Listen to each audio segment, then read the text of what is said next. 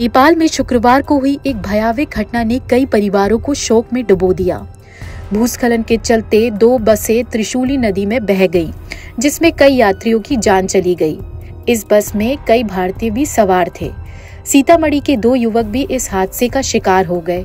इनमें से एक युवक का शव यूपी के महाराजगंज में नारायणी नदी से बरामद किया गया, जबकि एक अभी लापता है। जानकारी के अनुसार, ऋषिपाल साहा का शव शनिवार को चितवन पुलिस ने नारायणी नदी से बरामद किया। बताया जा रहा है कि घटनास्थल के करीब 50 किलोमीटर दूर उनका शव मिला। ऋषिपाल साहा जमुआ गाँव के निवासी थे और उनकी उम्र मात्र 30 वर्ष थी। उनके घर में इस खबर से कोहराम मच गया है।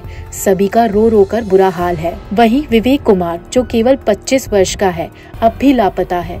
विवेक की माँ गीता देवी और बहन काजल कुमारी बेसुध हो चुकी हैं। पिता भरत प्रसाद शाह अपने बेटे के वापस आने की राह देख रहे हैं भरत शाह का कहना है कि उनके गाँव की किराना की दुकान का संचालन विवेक ही करता था ग्रामीण उन्हें संतावना देने के लिए उनके घर पहुँच रहे हैं, लेकिन घर में सन्नाटा पसरा है। बस हादसे के बाद से दोनों परिवार पर कहर टूट पड़ा है। बता दें कि नारायणगढ़ मुगलिंग सड़क खंड में सिमल ताल के पास भूस्खलन के कारण बसे त्रिशूली नदी में समा गई।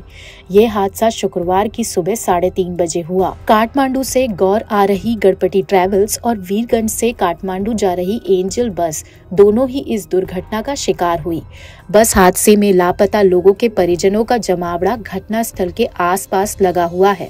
प्रशासन ने उनके निशुल्क खाना आदि रहने के व्यवस्था कराई गई है। उधर चार किलोमीटर के जाँच के दायरे को बढ़ाकर अब दस किलोमीटर तक कर दिया है।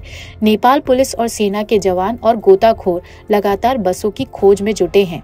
ये हादसा एक चेतावनी है कि प्राकृतिक आपदाएँ कितनी खतरनाक हो सकती है। लोकल एटीन के लिए सीतामढ़ी से भरत कुमार चौबे की रिपोर्ट।